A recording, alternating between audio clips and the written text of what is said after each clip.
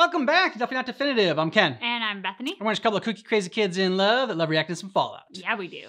And so uh, we're continuing with the Storyteller Fallout series. This is uh, season one, episode seven, Caesar's Legion.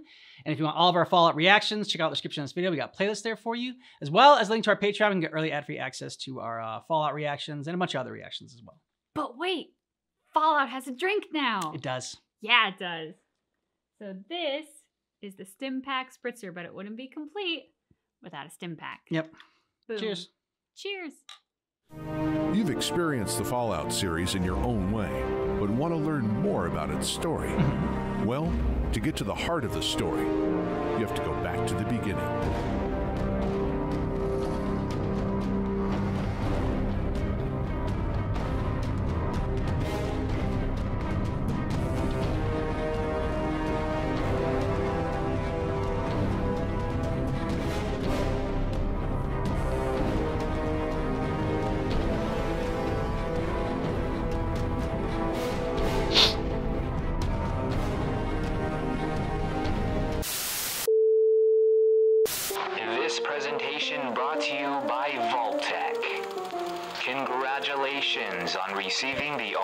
Clear signal. You are now authorized to Dancing exit moves. your Vault-Tec facility.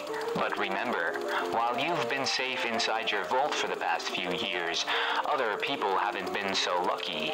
Society on the outside has probably changed, and you should be prepared for a variety of possible scenarios. The area around your vault could be populated by cannibalistic mutants, Oh, gigantic insects, or maybe even feral children who have enslaved all the grown-ups. Oh my God! Who knows what kind of kooky civilization has The formed? flies. But the Oh! important thing is that you learn to roll with the punches.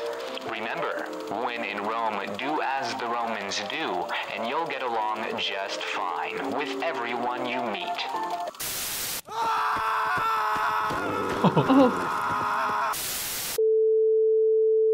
A long time ago, there was a saying those who cannot remember the past are condemned to repeat it. Mm-hmm. That made more sense back when every child in the country went to school five days a week and learned their history from a big room full of books. Of late, it can be a mite hard to find a history book that hasn't been burned or rotted through. So it seems like the good folk of the wasteland are doomed to repeat a lot of history's mistakes. Mm. There's a certain man in Nevada who's deliberately That's a throne. repeating history's mistakes. Calls himself Caesar, spoken by his followers as Kaiser. He's not the first to go by either of those names. A good 2,000 years ago, the first Caesar ruled an empire on the other side of the world. That Caesar probably never even imagined that there was a whole continent over here full of new people to enslave. Well, hmm, this hmm. new Caesar of the post apocalyptic world is out to finish what the first one started. Rather than aiming to restore America to what it was in the days before the Great War, Caesar is forging a new nation, using the Roman Empire as some form of twisted inspiration. That's a funny idea for someone to get in their head. Of course, this Caesar had an unconventional upbringing. He was born in 2226 out west in the Boneyard, the ruins of what used to be Los Angeles. He didn't stay there long. His mother took him away when he was just a baby and raised him with the followers of the apocalypse. Despite their name, these followers aren't one of those doomsday cults.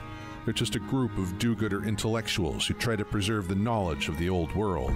Nerds! They also keep records about the present, so we know all there is to know about who Caesar was before he declared himself emperor.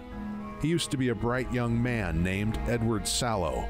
He was chosen to go on a followers' expedition to study the tribespeople of the wasteland, and perhaps he was a little too intelligent and educated to be sent out among the savages. He viewed them with a mixture of sneering contempt and misguided pity. He felt it was his duty to civilize them at any cost. In a stroke of irony, it turns out that those uncivilized lands had some books from before the war, books that weren't reduced to a pile of ash. Rare historical records, including an account of the original Caesar's war in Gaul. Sallow could have seen the history of Rome a warning about an empire that was doomed to fall, but instead, he saw something of himself in Caesar and decided to follow his example, Inspiration. even if it meant knowingly repeating the mistakes of the past. The Romans described in those old books were, by the standards of their time, the most civilized group in the known world. So mighty was their empire, they even had it better than most folks today. Food, fresh water, roads, and libraries. The problem is that only some Romans had it that good. Their empire was built on conquest and slavery, and the people on the bottom rung of society had it about as bad as a mole rat in a Deathclaw den. Under the new title of Caesar, Edward Sallow forged the tribals of Arizona, New Mexico, Utah, and Colorado into an army patterned after the Legion of Rome. Their entire society was converted to the war effort, and they used merciless strategies to decisively end their conflicts. 86 tribes in all, and each one they encountered was either assimilated or annihilated. Damn. The men who survived are forced to become soldiers in the Legion. All traces of their original tribe are eradicated, and these slave soldiers have but one option in life to die in the service of their conquerors. With each new victory, the Legion grows in number, leaving behind no one to oppose them. In his own way, Caesar is bringing order to the wasteland, one genocide at a time. The women of conquered tribes are not allowed even the dignity of dying in combat. The Legion's strictly regimented society forbids such equality, no matter how skilled those women may be as warriors. This rigid separation ensures that half of the Legion's forces fight, while the other half breeds the next generation of slaves. Yeah, Caesar would say that slavery is a fitting punishment for the weak and cowardly members of the defeated tribes, a chance for them to prove themselves of worth in their new life. A compelling argument, but nothing can justify being born a slave. Children born into the Legion are separated from their parents, given no knowledge of the culture of their ancestors, and identify themselves only as one small part of the vast Legion. They are all destined to die in Caesar's servitude. Caesar's love of the old times and martial virtues does not prevent him from arming his men with weapons developed in the 21st century. If throwing javelins at their enemy won't get the job done, then the Legion will reach for assault rifles or even more advanced weaponry. They do prefer to fight hand to hand whenever possible, and some of the Legion's men carry kinetic energy hammers and ballistic gauntlets enhanced with 21st century technology. Caesar is the absolute ruler of this army, and disobedience is punished with death. A slow death. The Legion burns people alive, crucifies them on poles along the roadside, and forces them to fight to the death in duels for Caesar's amusement. Failure is punished with equal cruelty. Every member of the Legion knows that it is better to die in battle against the enemy than to stand before Caesar in shame. Even his highest ranking commanders, his legates, can suffer his wrath. A few years ago, Caesar proved this when his army came upon its first worthy opponent, the new California Republic. Even as the Legion was spreading westward, the NCR was exploring territory on their own eastern border. The two nations clashed on the banks of the Colorado River for control of the Hoover Dam in 2277. It proved to be the first defeat for the Legion. Good. The NCR has the biggest, most organized army in the wasteland, and their rangers are some of the fiercest, most cunning fighters in the wastes. The NCR feigned retreat across the dam and led the Legion to the town of Boulder City, back when there was a town there. The place is a graveyard now, filled with the bones of Legion soldiers who charged to their own doom, certain that the NCR was fleeing in terror before Caesar's might. Caesar himself would have been clever enough to deduce that this was a trap, but he had delegated the task to one of his legates who failed to see that the NCR was only pretending to run. When the Legion reached Boulder City, they found enough explosives to level just about everything in town. Even with the loss of over 100 soldiers during the battle, the NCR managed to rout the Legion and secure the dam and leave the Legion stuck on the other side of the river. The legate who organized that disastrous attack learned just how terrible Caesar's fury can be. He was one of Caesar's oldest friends, Joshua Graham. They met back before Edward Sallow started calling himself Caesar, but that did not earn Graham any mercy. For his failure in the Battle of Hoover Dam, he was set on fire and thrown down the biggest hole in the wasteland, Oh the Grand Canyon. There are tales of people surviving all sorts of fates. Men mutated into blobs of goo without dying. Ugh. Cyborgs that are more machine than man. Hell, there's even a lucky bastard that survived having a tree growing through his brain. then there's Joshua Graham. People swear that they saw a burned man walk out of the Grand Canyon not long after the Battle of Hoover Dam. Might have been Graham. Might have just been an old ghoul out scavenging. Hmm. Either way, the possibility of Graham still being alive is just one more worry for Caesar these days. Good. Hmm. Like any emperor, Caesar knows that his military must constantly I think we consume new territory. The legion produces little and has left nothing but destruction in its wake. The only way for it to survive is conquest.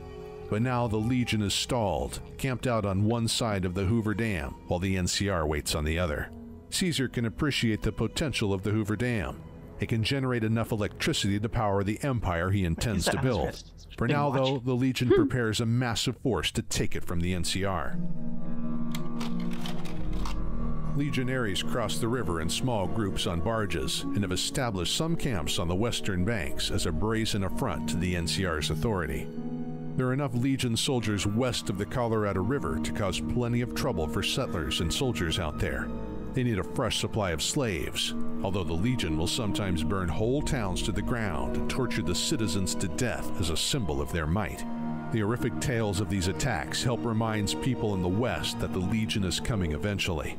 Caesar sees the NCR as a personal challenge, as though everything that's happened west of the river for the last 200 years all happened just so Caesar would have a worthy foe to defeat. And he's definitely up there in that fort of his, planning for the next battle at Hoover Dam.